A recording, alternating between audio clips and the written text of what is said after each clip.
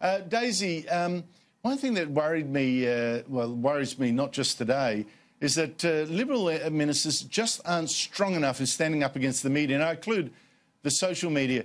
And the example I want to give is of uh, the Water Minister, uh, David Littleproud. Now, last month he got attacked for saying that he didn't know if global warming was man made. And there has been, you know, pack attacks since. And on the ABC, he caved in completely to one of the ABC's main global warming preachers, Fran Kelly. Here she is. But a lot of farmers do think this is different now, that climate change means the days are hotter, the droughts are meaner, the rains are scarcer, they're coming at different times. Do you accept that? Totally. But the Treasurer who was out with you this week, he conceded that this drought is linked to climate change. So do I. Now, Daisy, what really got me with that, it was here was Littleproud now admitting to something that climate scientists say is actually false. In fact, global warming does not cause drought. And uh, just to prove it, I want people to hear from Professor Andy Pitman, who's very global warming, right up in that industry, head of the ARC Centre of Excellence for Climate Extremes. Here he is.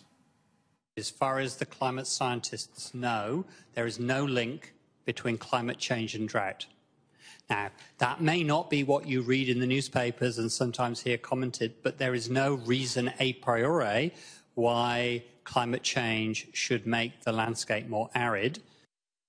All right, Daisy, take us through it. How did David Littleproud, the water minister, start off by saying something true, like I don't know what the link is, and end up dutifully agreeing to something false that climate change causes drought? How did that happen?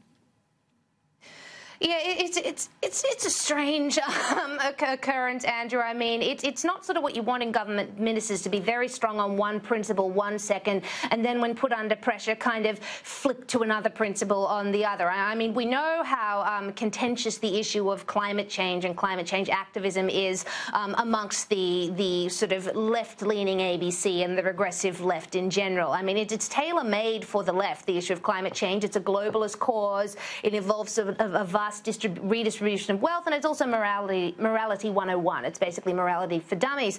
But for, for David Littleproud um, to go on there and, and, sort of sort of buckle in in the face of someone sort of hammering him, um, it doesn't sort of inspire a lot of confidence in him and other government uh, ministers holding true to their principles. So I, I understand. I mean, I'm not a climate scientist. I don't sort of put my stake in any of the science. I'm a bit of a climate centrist, but there is a, a lot of differing opinion within the science scientific community about climate change and also how to deal with it. Certainly much broader scope of opinion than the alarmists would have us agree. And, and for David Littleproud to sort of not acknowledge that and go along with the kind of climate change ABC mantra, it, it is disappointing and doesn't inspire a lot of confidence. And it's um, symptomatic of a mistake that a lot of conservatives make in politics and otherwise, which is to I capitulate agree. to the noisy left.